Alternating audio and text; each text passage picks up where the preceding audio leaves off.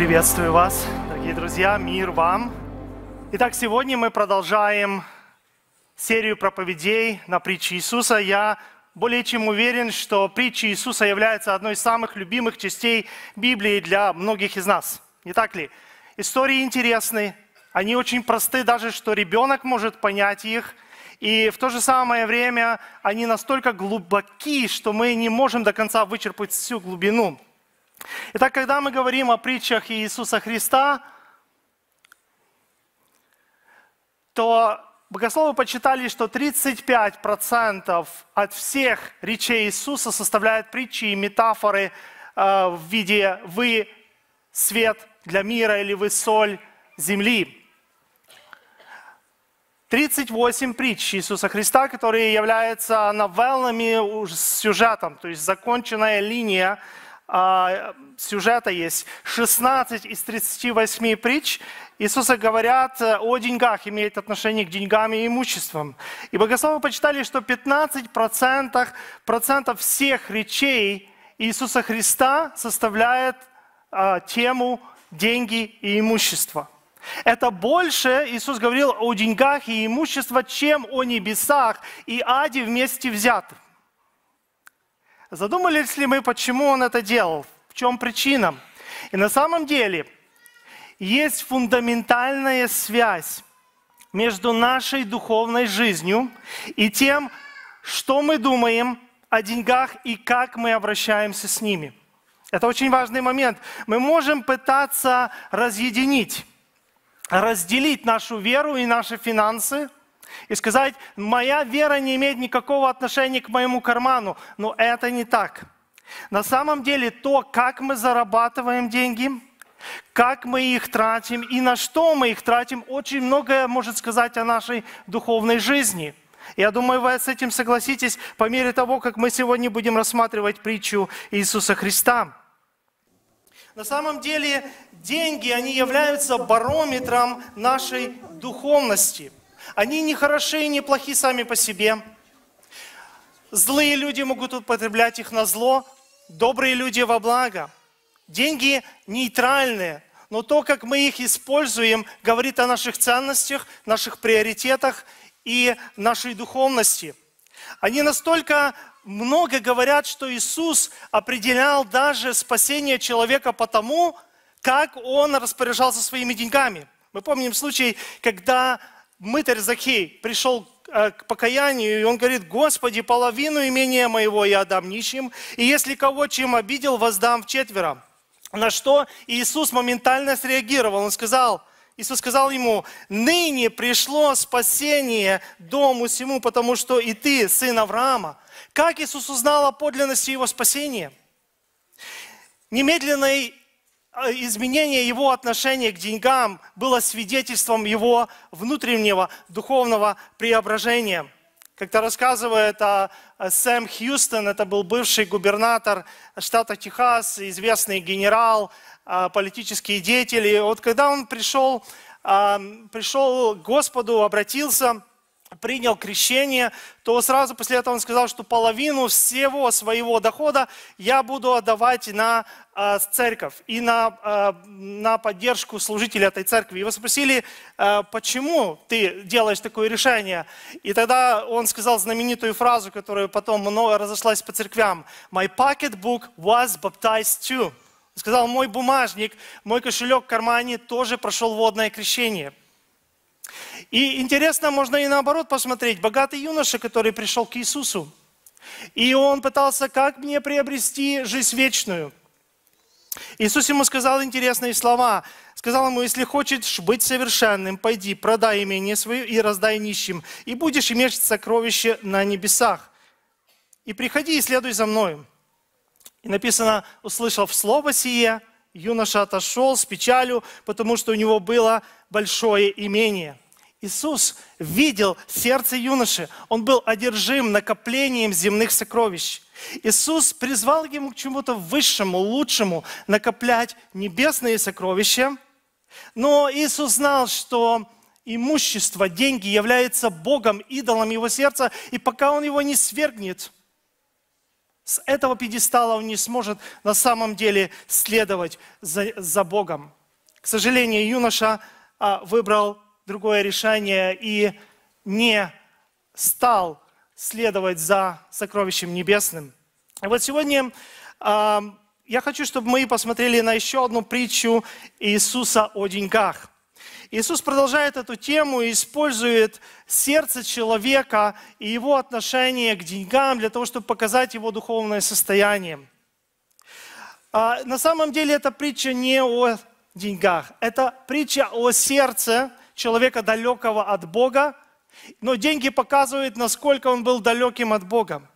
И это притча о том, как научиться обращаться со своим имуществом, чтобы не стать похожим на этого безумного человека – эта притча даст нам возможность представить в целом библейский взгляд на деньги, о котором Господь Иисус Христос имел так много чего сказать. Итак, притча о безумном богаче. Некто из народа сказал ему, «Учитель, скажи брату моему, чтобы он разделил со мною наследство». Он же сказал человеку тому, «Кто поставил меня судить или делить вас?»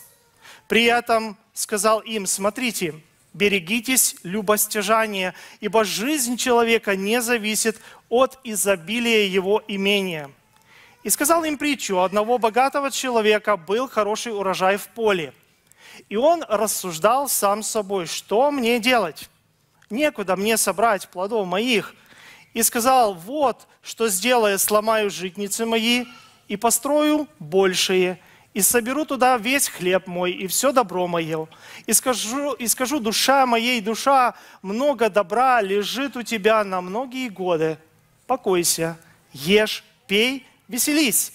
Но Бог сказал ему, безумный, в сию ночь душу твою возьмут у тебя. Кому же достанется то, что ты заготовил? Так бывает с теми, кто собирает сокровища для себя, а не у Бога богатеет. Давайте мы посмотрим на непосредственную ситуацию, которая сложилась, почему Иисус рассказал эту притчу. Непосредственно перед этим событием Иисус а, проповедовал на очень важные духовные вещи. Он говорил а, о, например, а, опасности лжерелигии, лицемерной лжерелигии.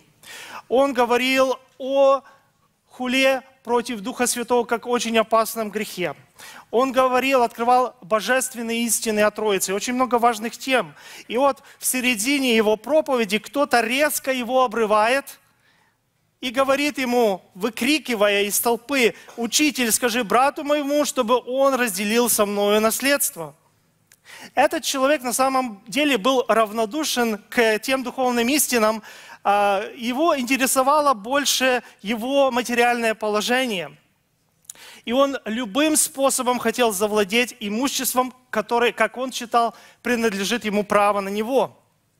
И вот движимый вот этим таким эгоизмом и а, а, устав от нетерпеливого ожидания, когда Иисус закончит, он прерывает его – его просьба, хотя и неуместная, и неудачная в этих обстоятельствах, все же не была чем-то необычным. Он признает Иисуса а, учителем, то есть раввином, и в обществе то он было нормальным а, положением вещей, вещей обращаться к раввину для урегулирования семейных споров или гражданских. И вот здесь он просит Господа, чтобы он ему помог – убедить его брата разделить с ним имущество. Мы точно не знаем мотивы до конца, мы не знаем, был ли он прав или нет, но что здесь бросается в глаза, так это то, что он не просит Иисуса рассмотреть дело по существу, кто прав, кто действительно э, имеет право на это наследство. Но он просит при, вынести решение, убедить его брата, отдать ему его часть. Некоторые считают, что а, он поступил а, как бы оправданно, и он действительно был а, э, несправедливо избавлен своего имущества, но так как судебный спор был очень дорог, то он решил сэкономить и попросить Иисуса разрешить его. Другие, большинство богословов полагают, что человек задумал злое против своего брата, потому что чтобы Христос помог ему осуществить его э, замысел, поскольку, согласно закону, старшему брату обычно принадлежала двойная часть имущества, его наследства, как первородному, и даже отец не мог изменить это решение.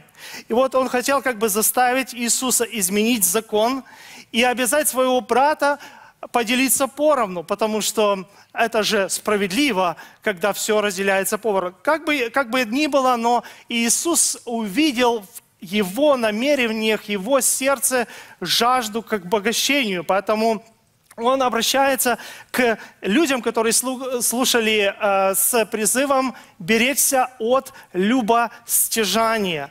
То есть, скорее всего, что мотивы были этого человека не самые хорошие, но Иисус отказывается э, разрешать спор по существу, но обращается к более широкому кругу людей для того, чтобы обратить их внимание на эту духовную проблему.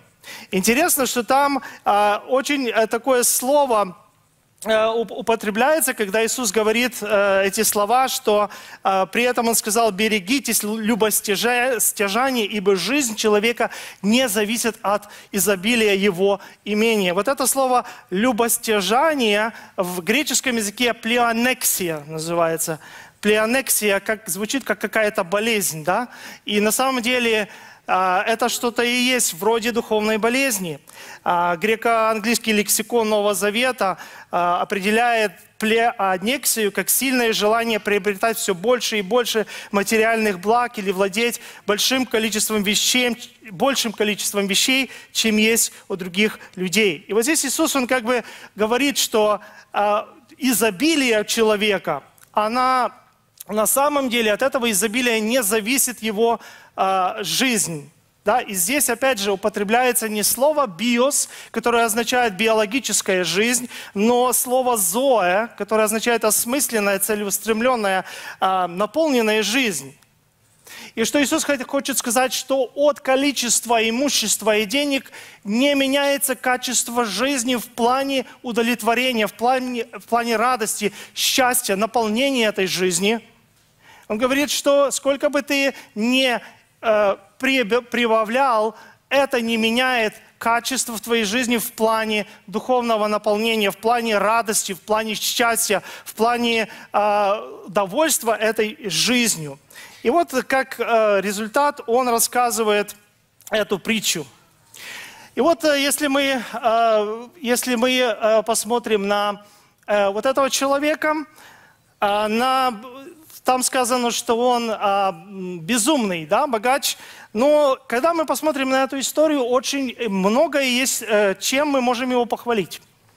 Очень много вещей он сделал очень остроумно, очень, а, скажем так, а, очень а, думая наперед, как бы, что, что будет. Итак, первое, что это, конечно же, умелое управление бизнесом. Он сумел так организовать а, свой бизнес, своих рабочих, а, свои ресурсы, что он был уверен, что его житницы очень быстро наполнятся зерном, да, урожаем с его поля. И в его успехе мы не читаем никакого намека на какое-то жульничество или обман, или нечестность он вполне э, был способным воспользоваться богатым урожаем э, своих полей. Следующее, что мы можем э, в его похвалу сказать, это то, что хорошее знание рынка. Да? Почему? Потому что он не продает излишки своего урожая, скидывая их оптом на рынок, потому что он знает, что если оптом уйдет все его зерно, это обвалит его цены. Обвалит цены рынка, он продаст его дешевле. А, возможно, он также понимал, что есть годы более плодоносные и есть годы менее плодоносные. Мы читаем это а, в Бытие насчет Иосифа. Да? Был, было сначала семь хороших лет, семь потом скудных лет. И он думает, возможно, потом я смогу намного лучше и дороже продать он эффективно использует свои ресурсы. Смотрите, он не строит дополнительные житницы на своей территории. Он понимает, что его земля очень ценна, она произрастает урожай. Что он делает? Он не строит дополнительные, он раз, хочет разбить старые, построить новые, только выше, больше, чтобы там поместить больше. Кажется, отличное решение. А, бережное распределение средств. Он не проматывает все свое богатство сразу, как только он его получил, как блудный сын, не так ли? Он его рассчитывает употреблять на большое количество годов, постепенно пользуясь им. Мало того, я думаю, в мыслях его крутилось, что я его ж могу также и одолжить кому-то под большие проценты, как, говорят, как говорится, деньги делают деньги – и кажется, вот э, умный, остроумный человек очень принимает четкие бизнес-решения, правильные. Э, можно его похвалить. И, кстати, если бы он сегодня общался с бизнесменами нашего времени, они бы сказали, да, это, это хорошее решение, это правильное решение. И тем не менее, Бог называет его словом «афрон» – безумец в нашем переводе. Если посмотреть словарь, это довольно крепкий термин – он относится к кому-то безрассудному, даже безмозглому, лишенному здравого ума, невежественному, нерассудительному, лишенному знания и истины. В английском переводе там даже более жесткое слово «full», «rich», «full».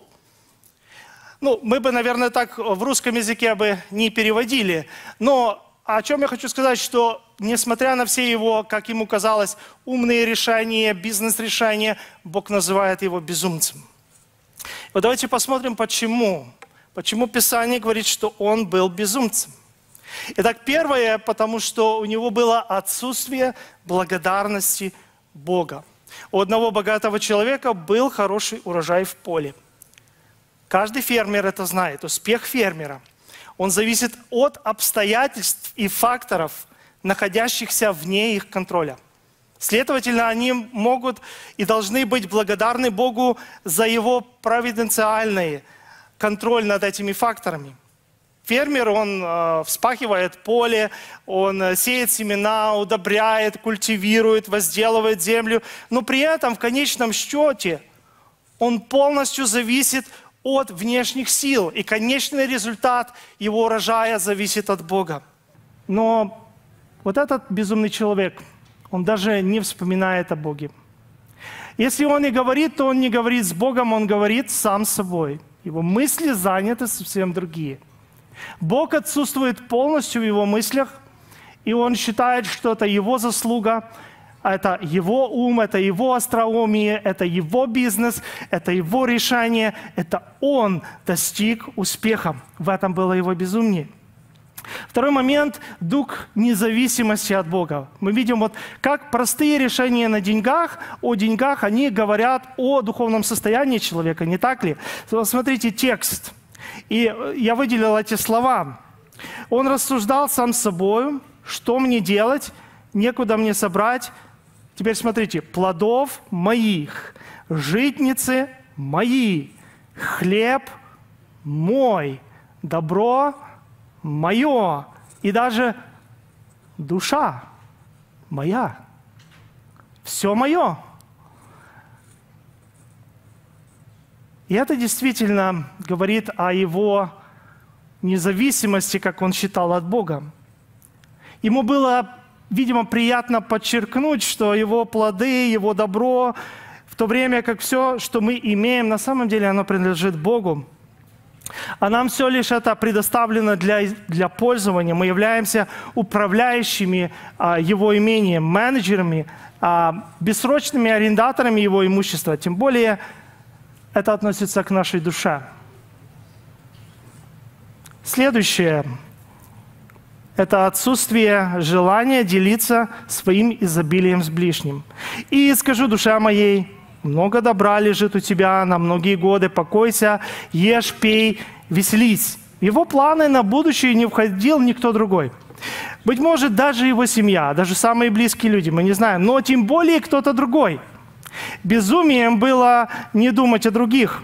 Он мог бы, кстати, избавить себя от расходов – лишних дополнительных расходов, приняв решение поделиться своим добром с кем-то другим. Ему не надо было тогда строить ничего дополнительного, не так ли?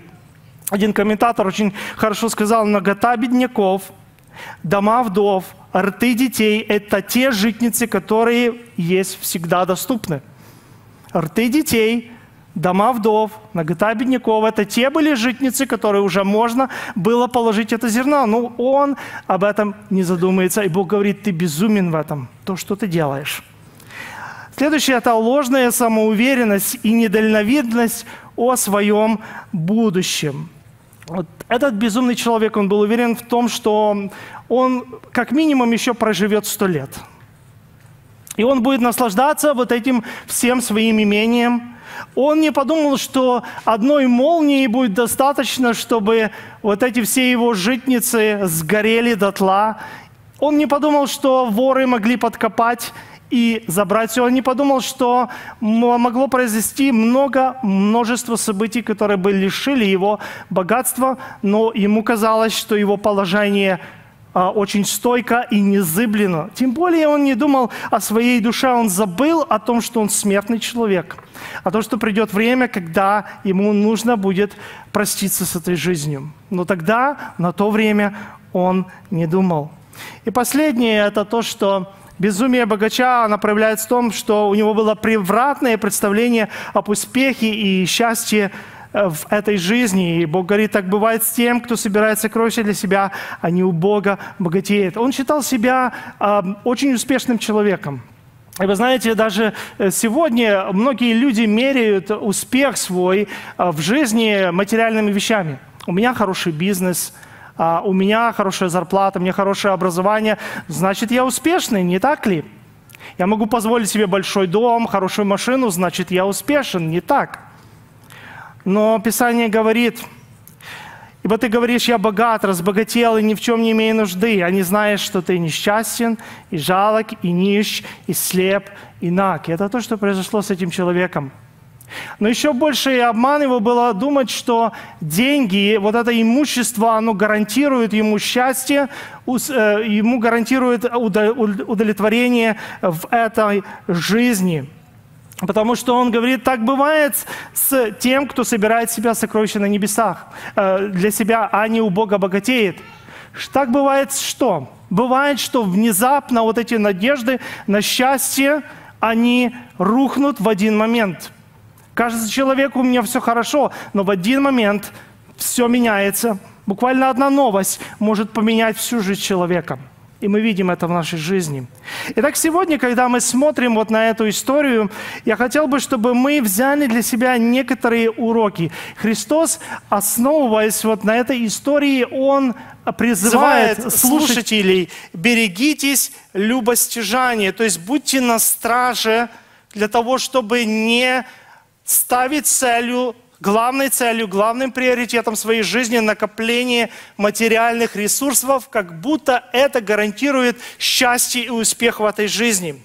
И вот сегодня, смотря вот на этих пять факторов безумства этого человека, я хотел бы, чтобы мы вынесли каждый для себя в своей жизни важные духовные уроки, как делать наоборот – как делать так, чтобы мы не выглядели безумцами в глазах Божьих, в глазах Писания, чтобы мы могли принимать мудрые и правильные решения в основании своих финансов, своего, своих денег и имущества.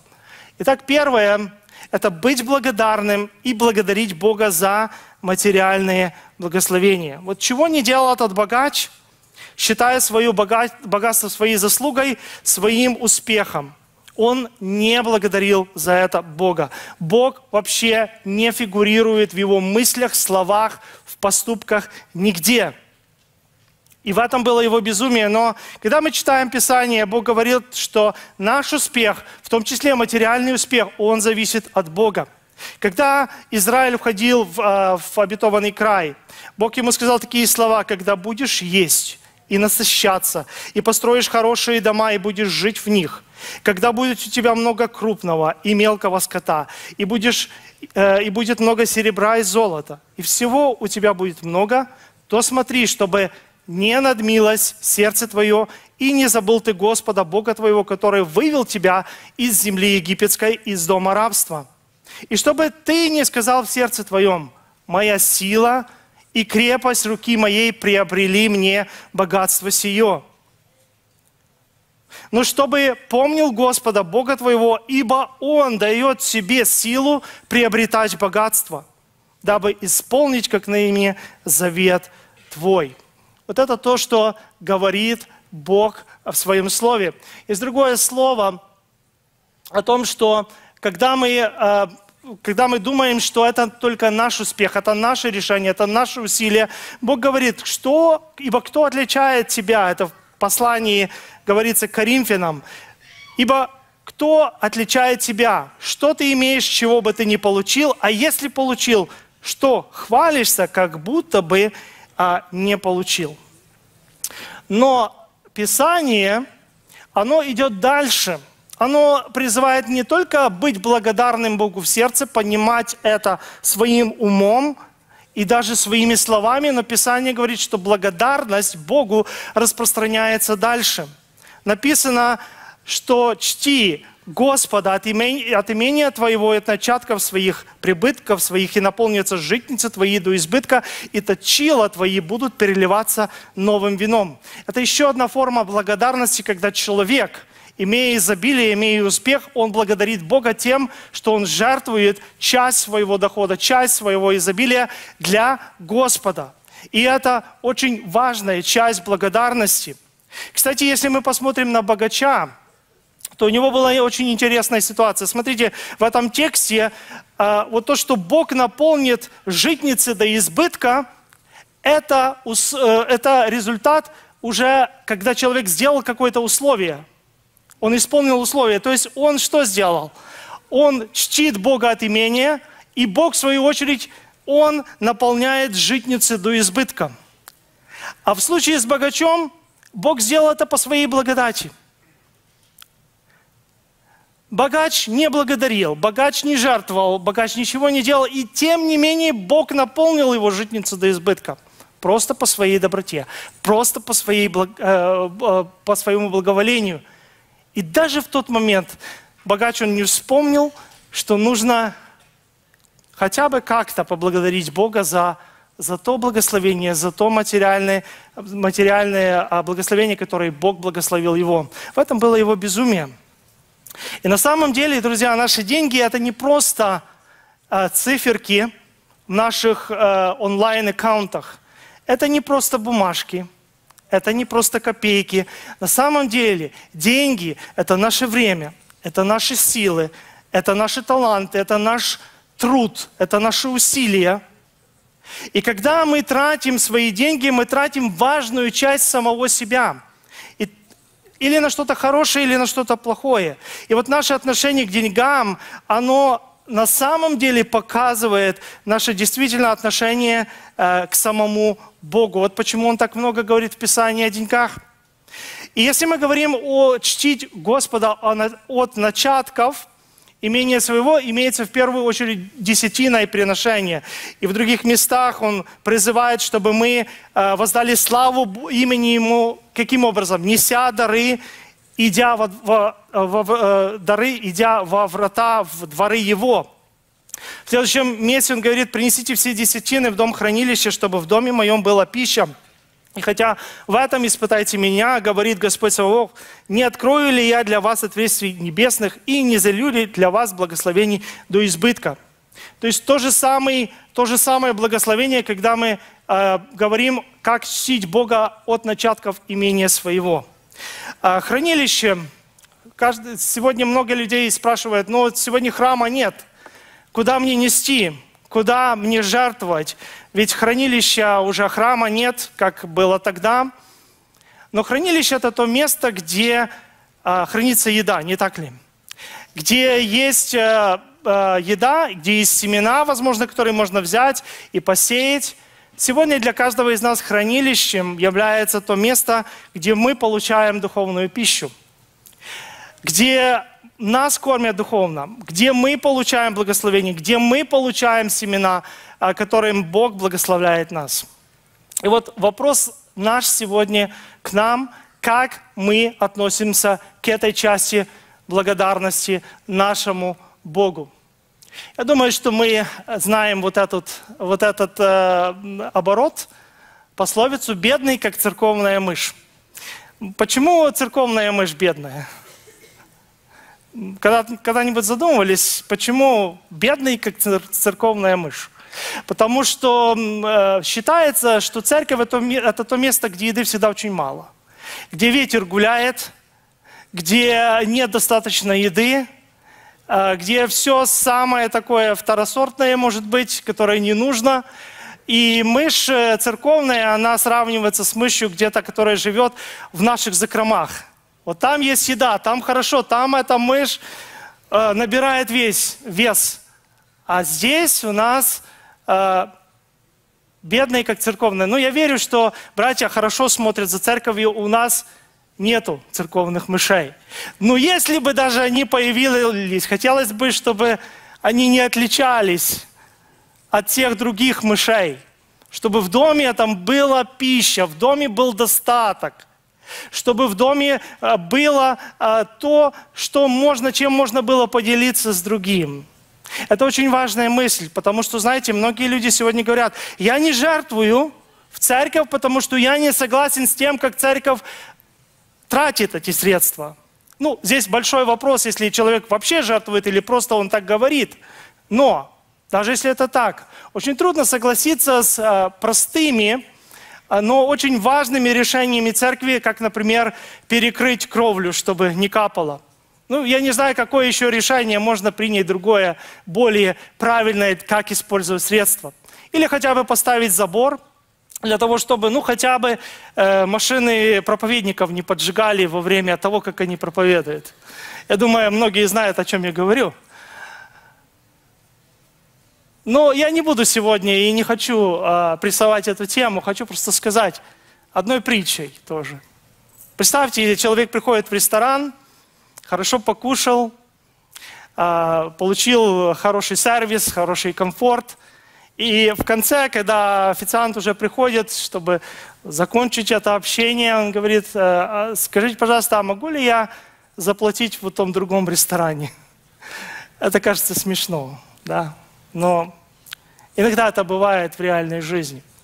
Поэтому пусть Бог благословит, чтобы у нас не было бедных церковных мышей, чтобы э, мы могли чтить Господа от начатков имения своего.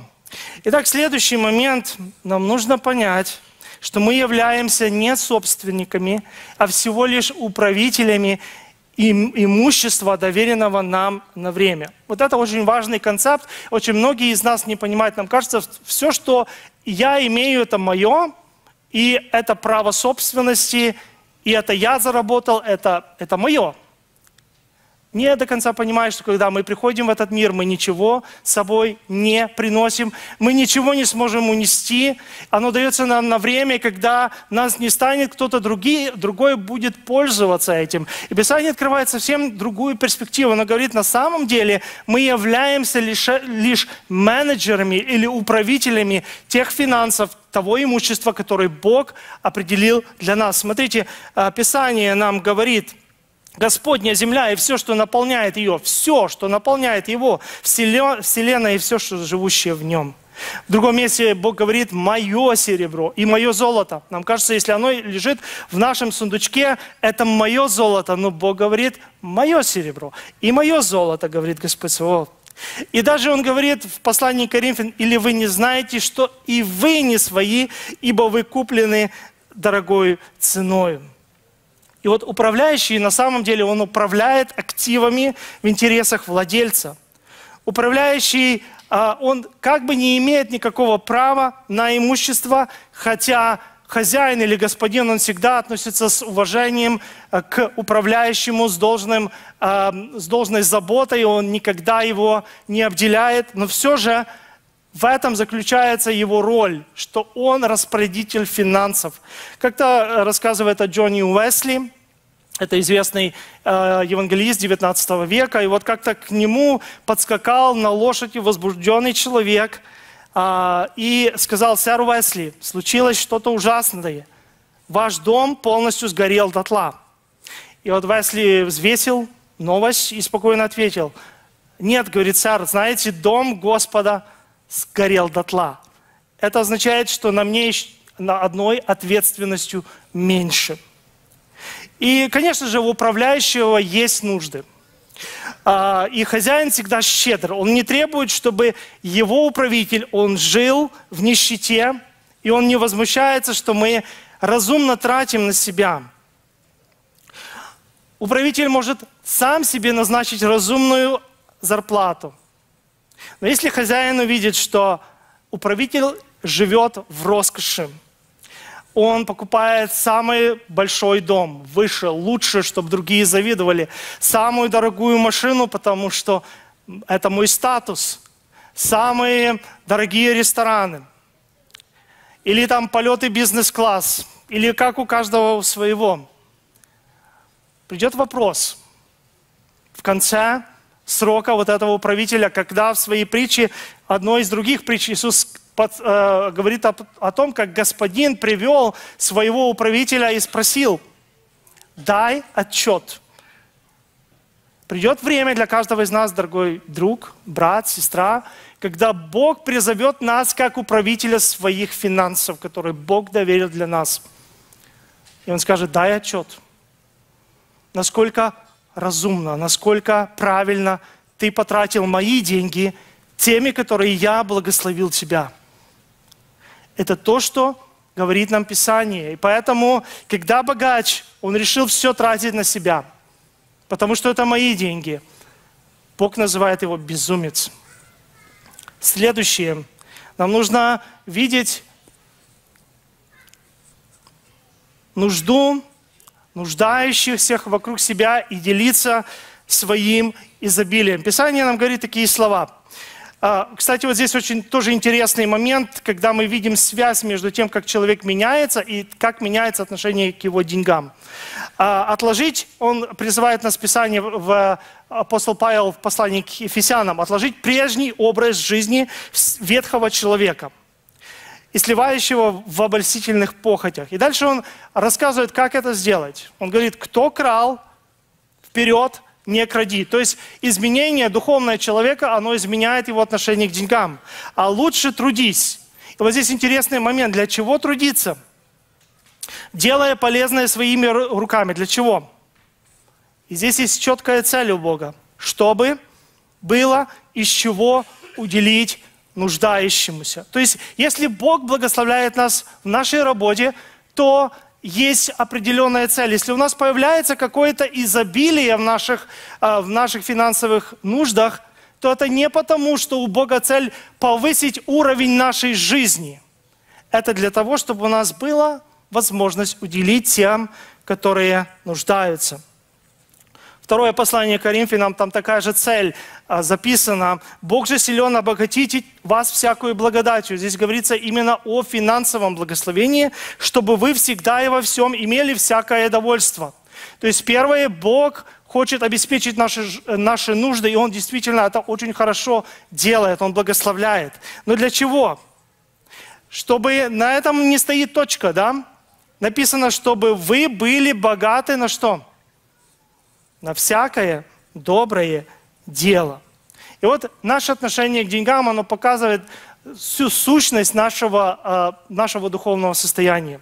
Что польза братьям, если кто говорит, что, не, что имеет веру, а дел не имеет, может ли эта вера спасти его? И смотрите, как Иаков, он а, определяет веру человека.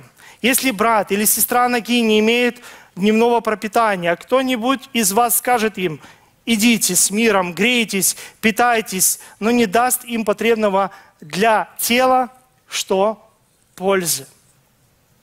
Это очень важный момент. Опять же, говоря о Джонни Уэсли, это был один из э, самых таких благочестивых э, людей своего времени, и очень влиятельных, рассказывает, что у него была привычка отдавать все, весь излишек своего имущества, которое он мог, на нужды бедных. И вот когда он был еще студентом, он учился в Оксфордском университете, то он, у него доход был 30 стель, фунтов стерлингов в год. Это большая сумма была по тем даже временам. И у него сложилась привычка 2 фунта давать другим. Из 30 давать 2 фунта другим. Но по мере того, как э, его благосостояние росло, сначала до 60, до 90, потом до 120 фунтов стерлингов, э, он ограничил свои расходы, опять же, до 28 фунтов. А все другое он раздавал на служение, на, на ближних. Возможно, это был особенный человек, и э, нужна особенная вера, чтобы делать такие вещи, но а, этот вот принцип, он а, работает в а, Писании, чтобы если мы имеем изобилие, мы могли не забывать, если мы видим нужду возле себя, вокруг себя. Потому что это то, что не делал этот богатый человек, и поэтому Бог называет его безумцем. Хадсон Тейлор, это известный миссионер, он а, а, а, как бы начал миссию в Китае, и он говорил, чем меньше я трачу на себя, и чем больше я даю другим, а, тем более счастливым и благословенным а, и благословенной ощущается моя душа. Пускай Бог благословит нас и в этом. Следующее – это научиться тратить деньги и имущество, имея в перспективе вечность. А, богач, он тратил так свое богатство, как будто, как я говорил уже, он хотел жить только сто лет или больше, даже сто лет. А, но здесь Бог говорит ему, что он безумен. Почему? Потому что в эту ночь твоя жизнь, то есть может быть короче, намного короче, чем ты думаешь. И я знаю, что все мы, конечно же, все мы согласны с фразой о том, что никто не может ничего принести в этот мир, никто не может ничего и забрать. И вот э, когда Джон Рокфеллер, это один из богатейших людей этого мира, умер, э, как-то к его бухгалтеру подошли люди, и их интересовало, сколько же Рокфеллер оставил после себя миллионов. И бухгалтер сказал крылатую фразу, которая потом разошлась на, на проповеди. Он сказал, он на самом деле оставил все. Бухгалтер не хотел говорить суммы, но он сказал правильную вещь. Он оставил все. Но Библия, интересно, что она говорит намного больше, чем, чем люди знают на эту тему. Библия говорит, да, что мы ничего не можем забрать с собой в вечность, но мы многое можем выслать туда вперед себя. Мы не можем не одного доллара, ни одной вещи забрать с собой, но Писание нам говорит, что свое имущество, свои деньги мы можем выслать наперед в Царство Небесное. Интересный подход, да? Написано, мы опять же читаем это, что Иисус сказал, если этому юноше, если хочешь быть совершенным, пойди продай имение свое и раздай нищим. И что тогда будешь делать? И будешь иметь сокровища на небесах. Он предлагает ему собирать сокровища на небесах каким образом? Раздав свое имение нищим. То есть, пожертвовав часть денег на нищих, он переводил их в небесную валюту. И это то, что не понравилось этому юноше, потому что его цель была накопить как можно больше ресурсов, как можно больше финансов. Это было против его души, против его ценностей, и он ушел вот эту притчу, когда Иисус тоже сказал, Он сказал, так бывает с теми, кто собирает сокровища для себя, а не у Бога богатеет. Вот этот безумный богач, он не богател у Бога. Почему? Потому что он не делился, он не жертвовал, он, он не делал добро. Он жил для себя, и в этом было его безумие. Но Писание нас призывает э, богатеть у Бога. Джон Буньян, мы знаем, это известный э, э, автор э, «Путешествия Пилигрима», он писал такие слова. «Все доброе, что вы делаете для Него, если оно делается согласно Слову, хранится для вас, как сокровище в сундуках и ларцах небесных, чтобы быть вынесенным, как награда перед людьми и ангелами, к вашему вечному утешению». Я не знаю, в, каком, каком, э, какой, какой форме будут эти награды, в каком, какой форме э, будут эти сокровища небесные. Но я верю, что а, то, что человек делает с имуществом здесь на земле, оно меняет а, его состояние там в жизни вечной. Мартин Лютер он сказал, у меня было много вещей в руках, и я потерял их все. Но все, что я отдал в руки Божьи, тем и владею. Писание нам говорит, «Итак, приобретайте себе друзей богатством неправедным, потому что, когда обнищаете, приняли вас вечные обители». Это очень такая странная притча, но здесь Иисус говорит о, о том, а богатство неправедное – это как бы земные ресурсы. Он говорит, чтобы обрести друзей, то есть изменить жизнь человека здесь на земле, нам нужно использовать эти ресурсы. Потому что для чего? Когда оно уйдет, когда закончится, когда мы его уже не сможем забрать, мы были бы приняты в небесное жилище, и наши друзья бы встречали нас на небесах. Я верю, знаете, что когда мы э, придем на небесах, очень многие люди подойдут к нам, которых, возможно, мы будем видеть в первый раз. И он скажет, ты друг мой, потому что ты пожертвовал на ту или на другую миссию – и через эту миссию я пришел к Богу. Кто-то скажет, ты сделал добро, а, пожертвовал свои деньги на какую-то организацию, и э, я был насыщен и пришел к Богу, ты друг мой. И очень будет много таких странных встреч, когда люди будут называть, ты мой друг, хотя мы даже никогда их не видели. Это то, о чем говорит Писание. Это то, что а, мы можем делать со, своими, со своим имуществом, со своими финансами, а, имея в перспективе вечность. Я думаю, мы знаем этого человека. Кто не знает, это Альфред Нобель. Это был 1888 год. И а, Нобель, он был известным шведским химиком, который сколотил свое состояние на изобретении и производстве динамита. Его брат Людвиг умер во Франции, а, но горе Альфреда еще больше усугубилось, когда он прочитал одну статью. Он прочитал некролог во французской газете, но это был не некролог его брата, а редактор перепутал имена братьев. Это был некролог самого Альфреда Нобеля. И некролог был озаглавлен «Торговец смертью мертв». И в некрологии Альфреда Нобеля описывается человек, который разбогател, помогая людям убивать друг друга. И потрясенный такой оценкой своей жизни, Нобель решил использовать свое богатство, чтобы изменить свое наследие. Когда он умер 8 лет спустя, он оставил 9 миллионов долларов. На то время это были огромные деньги для финансирования наград для людей, чья работа принесла в пользу, пользу человечеству. Таким образом возник фонд Нобелевской премии, который мы знаем сегодня. У Альфреда Нобеля была редкая возможность посмотреть на оценку своей жизни в конце и еще иметь шанс что-то изменить. И прежде чем его жизнь закончилась, Нобель позаботился о том, чтобы вложить в свое состояние что-то, имеющее неприходящую ценность. Это хороший пример, друзья, для каждого из нас. Это то, к чему призывает Бог, чтобы мы также не были названы безумными в том, как мы распоряжаемся своими финансами. И последний момент – это помнить, что наше счастье и наш успех в наших отношениях с Господом, а не в количестве приобретенного имущества. Кто-то говорит, кто-то говорит, счастье не в деньгах, счастье в их количестве. Но это неправда. Вот слова некоторых людей, которые дошли до самого верха. В количестве этих денег.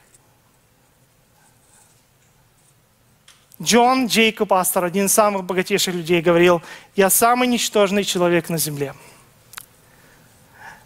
Джон Рокфеллер сказал, я сделал очень много миллионов, но они не принесли мне счастья. Эндрю Карнеги, один из богатейших людей, миллионеры редко улыбаются. Генри Форд. Я был счастливее тогда, когда я делал работу механика, а не когда стал бизнесменом.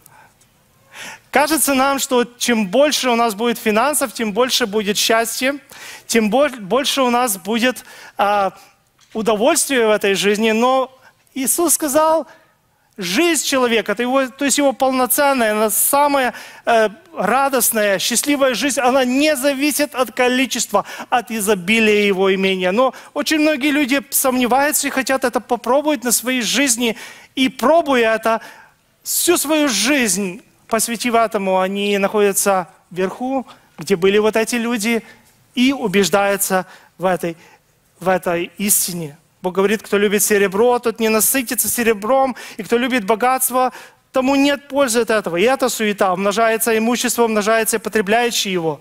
Римляне как-то говорили, что богатство это как морская вода. Чем больше ты ее пьешь, тем больше хочется. Нельзя остановиться, но в конце, а, если увлечься этим, оно просто убивает самого человека. Друзья, я хочу просто сказать, что под влиянием средств массовой информации, телевидения, возможно, а, каких-то каких а, ютубов и так дальше, у нас создается впечатление, что успешный человек – это тот, который накопил большой капитал. Это тот, у которого есть большой бизнес. Это тот, который живет в очень большом доме, который ездит на очень дорогой машине.